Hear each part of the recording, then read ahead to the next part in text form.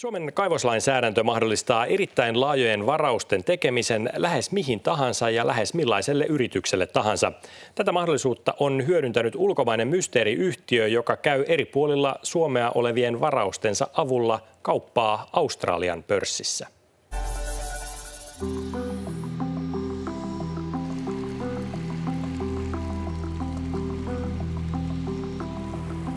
Pelko talvivaaran kaltaisen ympäristökatastrofin toistumisesta on syöpynyt suomalaisten mieliin. Kaivoshankkeesta valitetaan jo varausvaiheessa, joten kaivoksen perustaminen Suomessa kestää yli 20 vuotta ja se voi tulla maksamaan jopa miljardi euroa. Jos verrataan niin oikeisiin tämmöisiin isoihin kaivosmaihin, niin kyllä Suomi on alitutkittu. Eli meillä on paljon tutkimattomia alueita, Suomen pinta-alasta alle 0,1 prosentilla on kaivostoimintaa.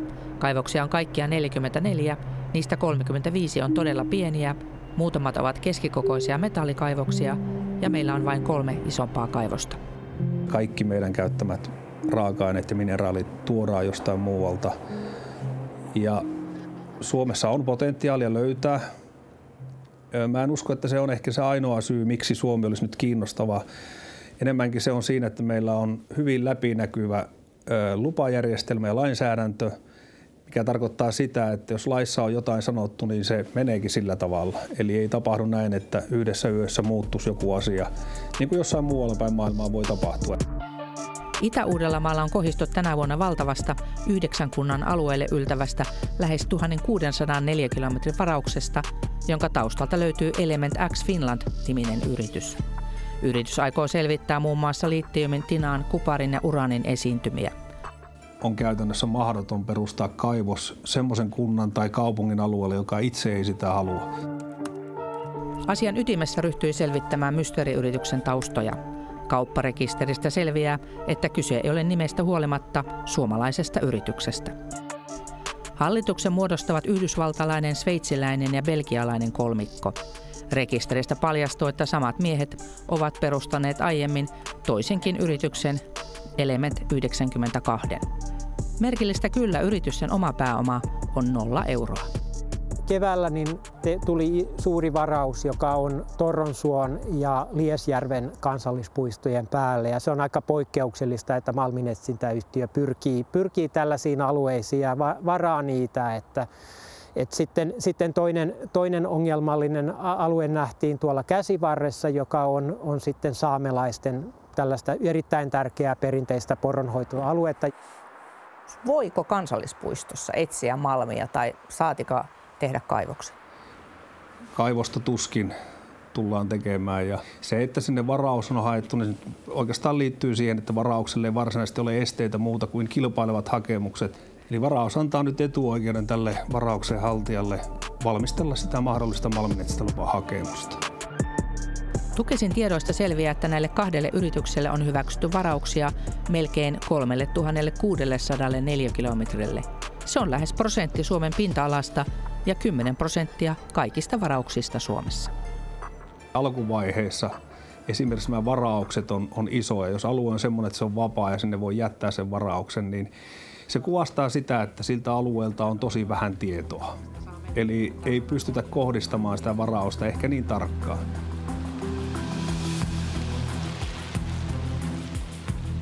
Molempien yritysten osoite on sama. Lähdemme kohti Malmia, josta löytyy konsulttikeskus. Soittokellossa eikä missään näy kuitenkaan yritysten nimiä. Soitamme Leinonen Suomi Oyhyn, joka on merkitty rekisterissä yhteistietoihin. Onko nämä firmat sitten teidän asiakkaita vai oletteko te vain postitoimisto? Naishenkilö toteaa, että he toimivat vain osoitteena ja välittävät Element 92 ja Element X Finlandille tulevat sähköpostit eteenpäin. Meille ei suostuta kertomaan, mihin maahan sähköposti lähetetään. Onko Element 92 ja Element X Finland teidän jäseniänne? Kumpikaan yhtiö ei ole hakenut jäsenyyttä. Mitä mieltä olette näiden yritysten toimintatavoista? Ovat kehittäjäyhtiöitä, niin kuin kiinteistöbisneksessä, niin he ovat malminetsintäpuolella, mutta tietysti me korostamme kaivosteollisuus ryn malminetsintäyhtiön jäsenille tiettyä järjestelmällisyyttä, vuorovaikutusta, tiedottamista Ja se, että on kasvot, puhelinnumero, sähköposti. Emme kuitenkaan saa vastausta sähköpostiimien lupauksista huolimatta yrityksiltä, joten yritämme etsiä tietoja verkosta omistajakolmikosta. Netistä paljastuu, että hallituksen jäsenillä on erilaisia omistuksia ja sidoksia kansainvälisissä kaivosyhtiöissä. Hallituksen puheenjohtajalla on kytkentöjä Serbiaan, missä aikomuksena oli avata suuri akkumetallien louhintakaivos. Kaivoshanke on tyssännyt toistaiseksi pelkoon ympäristökatastrofista. Saamme selville, että Element 92 myy sijoittajalle Australian pörssissä etuosto-oikeutta muutamiin varausalueisiin, joka on nykykurssin mukaan noin 200 000 euroa tämä on tällainen ehkä tähän tällaiseen markkinahypeen liittyvä ilmiö, että, että sitten tulee tällaisia seikkailijoita, jotka koettaa tehdä nopeasti, nopeasti rahaa tällaisen kuvitteellisen malminetsinnän varjolla, että, että siinä on, on jo nyt tehty aika iso pikavoitto, että muutama tonni varauksiin ja sitten tästä sopimuksen neuvottelusta on jo satoja tuhansia tullut, tullut sitten näille, näille seikkailijoille ja, ja ilmeisesti miljoona sopimusta koitetaan nyt tehdä parhaillaan. Että. Varauksia ei kaivoslain mukaan voi siirtää, mutta ne siirtyisivät kuitenkin neuvotteluissa olevan yrityskaupan myötä uudelle yritykselle Resource Mining Companylle, jonka sijoittajan joukosta löytyy myös Element 92 yrityksen omistajia. Australian pörssitiedotteissa ei mainita kansallispuistoja eikä sitä, että hankkeita on jo vastustettu ja niistä on valitettu. Yrityksen markkinointi ja muu, niin se on varmaan tässä alkuvaiheessa niin hyvinkin positiivista – ja, ja varmaan niin kuin kerätään ja pyritään luomaan sitten tämmöinen kuva, että, että tässä oltaisiin niin kuin jonkun tärkeän ja ison asian äärellä ja tähän tarvitaan rahaa. Elemet 92 yrityksen hallituksen jäsen toi syksyllä Suomeen ostajaehdokkaan, pörssiyhtiön toimitusjohtajan ja vierailua hypetettiin molempien somekanavissa. Tämmöisen sijoituksen arvo on tässä vaiheessa aika vähäinen. Käytännössä sille ei ole oikeastaan mitään arvoa, jos sitä kohdetta ei ole tutkittu etukäteen. Vaikkapa nyt tässä puheena ollen yhtiön näiden suhertajien jäljiltä, niin ei maastossa ole todennäköisesti edes käyty. Tukesi mukaan kaivoshankkeisiin ei löydy rahaa suomalaisista sijoittajilta ja siksi kaivostoiminta on ulkomaalaisten omistuksessa. Näytämme keskitalolle Australian pörssissä sijoittajille osoitettua materiaalia kairauksista. Nämähän perustuu kaikki näihin vanhoihin yksittäisiin historiallisiin tutkimuksiin mitä, tai tutkimusreikiin. Voisin sillä kerätä rahaa, mutta en, en ehkä itse lähtisi kyllä näillä tiedoilla sijoittamaan vielä. Element 92 yrityskauppa näyttäisi toteutuneen viime yönä Australian pörssissä, mutta sen edellytyksenä on, että varausten perusteella saadaan malminetsintäluvat. Varauksen tehnyt kolmikko voi siis onnistua keräämään kaupan lopullisesti toteutuessa sievoisen tuoton pöytälaatikkoyhtiöllään. Elinkeinoministeri Mika Lintilä, olet urallasi ollut aika paljon kaivosteollisuuden kanssa tekemisessä. Onko tämmöinen toiminta ihan niin kuin business as usual tällä alalla? Kyllä tämä on pahimmasta päästä ja tämä antaa karmeen kuvan alasta ja, ja tuota, niin ehkä voisi sanoa, että niin, ei tuossa yritys paljon totuutta käytä. Niin. M- mitä järkeä on tämmöisessä tilanteessa, että Suomessa voi tehdä hyvin halvalla hyvin suuren varauksen ja sitten sillä hakea näitä tämmöisiä pikavoittoja jostain ulkomailta? No sen takia meillä on uusi kaivoslaki nyt eduskunnassa nimenomaan sisällä, jossa varauksille tulee hinta, hinta eli, eli siis euro per hehtaari ja äh, se jo alkuvaiheessa sulla pitää olla rajattuna ulos ne alueet, jotka ei lain perusteella voi olla mahdollisia. Eli meillähän on näitä surullisia esimerkkejä, että suunnilleen koko Saimaa varataan tai tämä kyseinen esimerkki ja myös sitä varausaikaa nyt lyhennetään vuoteen. Hmm. Ja sitten pitää aina muistaa myös se, että niin kunta itse päättää sitten loppuvaiheessa, tullaanko alueelle, alueelle kaivosluvat antamaan tai ei.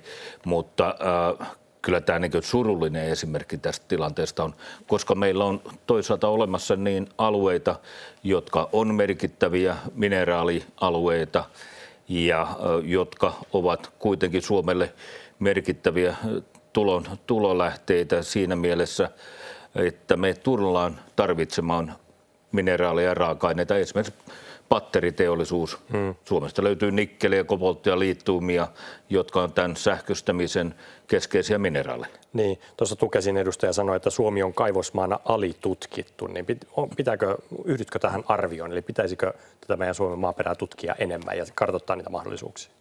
Kyllähän GTK on tehnyt erittäin hyvää työtä ja en ole ihan nyt varma noista prosenteista, oliko ne, oliko ne tuossa määrin, mutta että kyllä meillä se ongelma tulee meillä enemmänkin tästä Suomen vähäisestä pääomasta. Eli se, että Suomella ei ole pääomia kaivosten perustamiseen ja me nähdään se koko ajan. Että mm. Sen jälkeen, kun ulkomainen omistaminen tuli mahdolliseksi vuonna 1994, niin ei meillä oikeastaan suomalaisia omistuskaivoksia ollut. Meillä on hyvä esimerkki, jolla on haettu pitkään kotimaista rahaa Keliberin kaivos liittiumista ja äh, useitten vuosien ajan haettu rahaa, mutta kotimaista ei löydy. Niin, eli käytännössä se on ulkomaisten toimijoiden varassa, että miten paljon tätä meidän maaperää sitten hyödynnetään?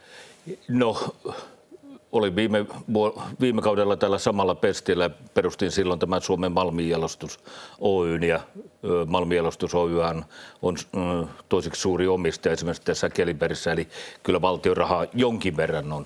Mm. Pitää mieltä, että ehkä voisi sanoa, että jos me perustetaan iso kaivos, niin se on miljardi ja se pitää olla pitkäkestoista rahaa, mm. eli sieltä ei nopeita voittoja nosteta. Mm. Mutta se ongelma on sitten siinä, että jos se, jos se raha tulee ulkomaalta, niin myöskin ne hyödyt sitten helposti menee ulkomaille. No hallitukselta odotetaan esitystä kaivosverosta, miltä sen tämän esityksen osalta, miten se etenee?